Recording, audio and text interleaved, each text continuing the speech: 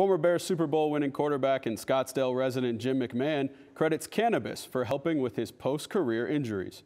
Caleb News Cronkite News reporter Caleb Wiley tells us McMahon, along with two other former NFL players, are releasing their own brand.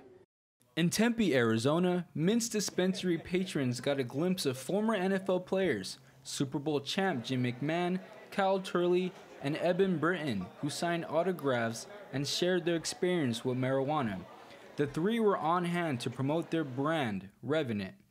Turley founded the company based on his own experience with weed. The reason behind starting Revenant was, you know, to have a brand in the cannabis space that could speak to this experience that I had, uh, where cannabis truly saved my life.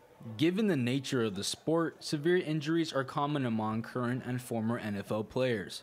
McMahon says the league's solution over the years has been to distribute a dangerous amount of painkillers. The problem is the opioids. You know, these guys, they, they'll give you a handful of pills, whatever you want. And uh, a lot of these things are very addictive. A lot of them have killed people. It's been proven. Cannabis hasn't killed anybody.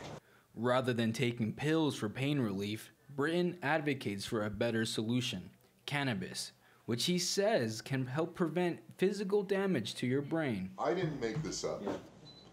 This is our federal government who's seen this work firsthand. They've seen through studies that the cannabinoids, the chemical compounds found in the cannabis plant, can actually help protect the brain from damage before it occurs, and they can help heal the brain after damage has occurred. The NFL is no longer suspending players who test positive for cannabis, but will be fined up to three weeks of pay. The Revenant team believes any punishment for cannabis use is a moral violation of the players. Obviously, until they uh, unrestrict cannabis use, period, um, they're wrong. You know, they are com- clearly, completely in the wrong, and they know it. And uh, I know this personally. Turley had a meeting with the NFL and their doctors. He discussed his experience and the science that proves cannabis usefulness with its players. Their response to Turley you're right, but it is going to take time.